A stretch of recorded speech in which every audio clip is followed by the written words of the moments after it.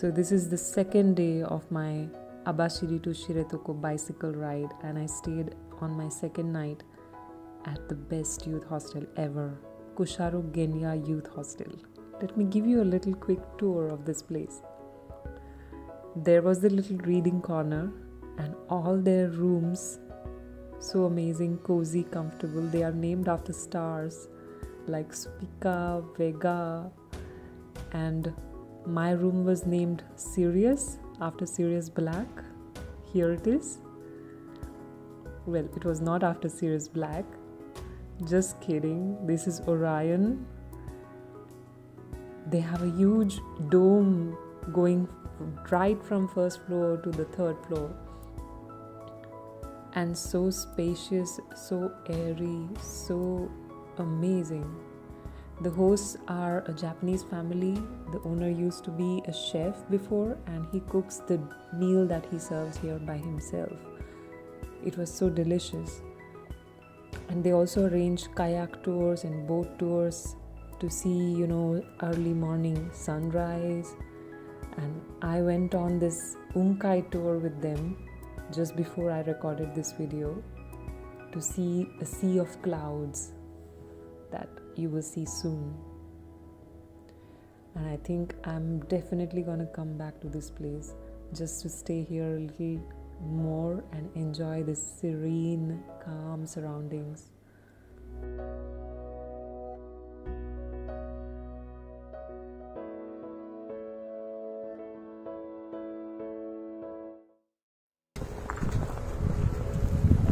We are the Holy Mountain, the same place where we were exactly yesterday. And the only difference is the view is awesome. We are here to see Unkai. There is the sea of clouds.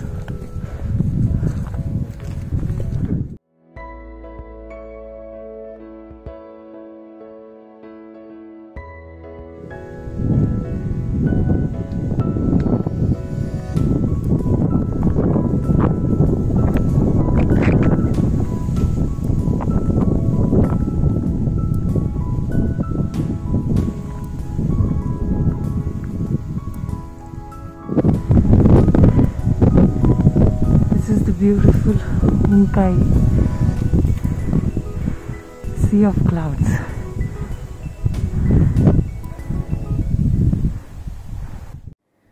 Since I had woken up super early in the morning for this Sea of Clouds tour, I had a couple of hours to spare before I headed on my ride. So I decided to go to a nearby attraction called Kotan Onsen. This is an open air onsen near the Lake Kussharo, and this was my first ever time going to an open air free onsen. Okay. So I'm in the changing room of this onsen, and uh, this is pretty small. Like only one person or maybe two people can change at the same time. That swimming in the nude is not allowed in this lake. So basically, that's right there, and the water is not too not too hot. It's just like lukewarm. And uh, between the men's section and women's section there's this rock. So there is a privacy. And it's beautiful. Amazing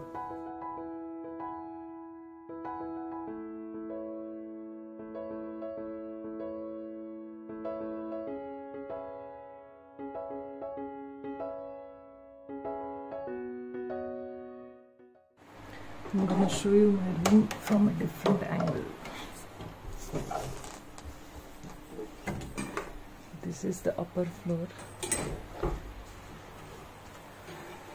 and this is how it looks down. And also, there's a wash basin.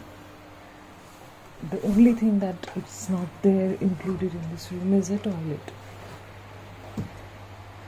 so you have to use the common one below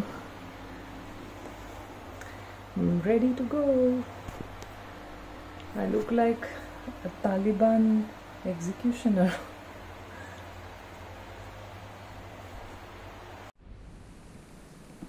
So it's 8.43, much much later than what I thought I would leave at.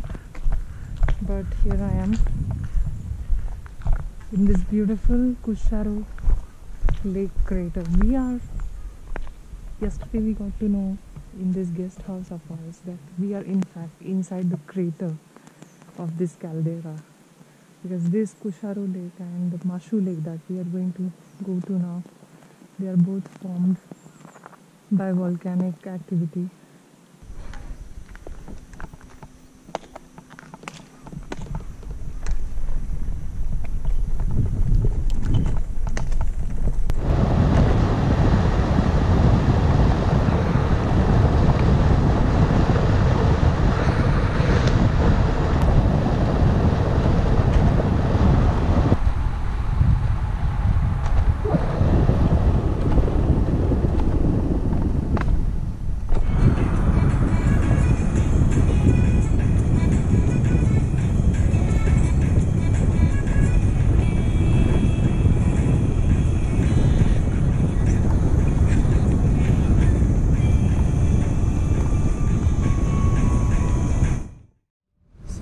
before we proceed on Lake Mashu, I'm just taking a small stop just to get some artificial protein.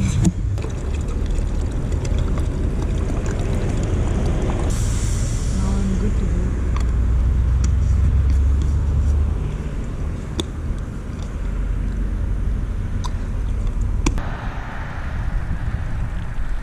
So I must have come some one kilometer from Teshikaga towards Mashuko.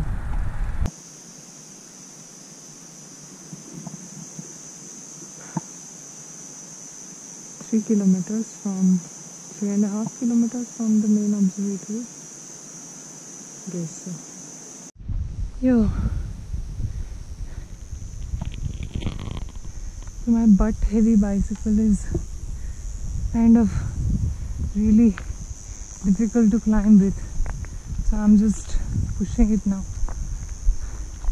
Because see front wheel is so light and the back wheel has all that luggage on it that too it is not really properly distributed on both sides which I can do with two pannier bags but I have just one. I was just thinking how the hell I completed Khardungla Pass that was almost two and a half kilometer elevation in a span of 38 kilometers oh my god Ah, I can see something よー最後だよ頑張れ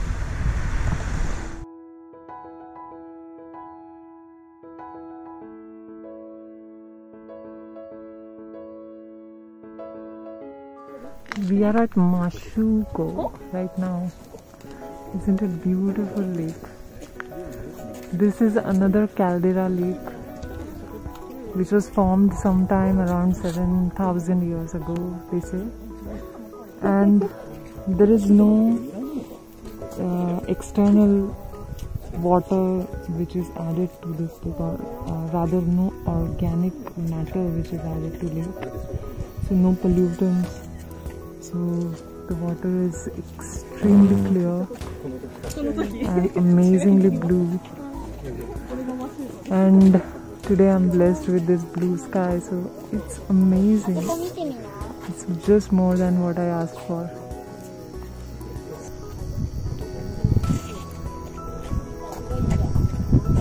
Although it was so so tiring to bring the bicycle all the way up the slope to this point but last 20-25 minutes that I have been just standing here and staring at this lake it's been just amazing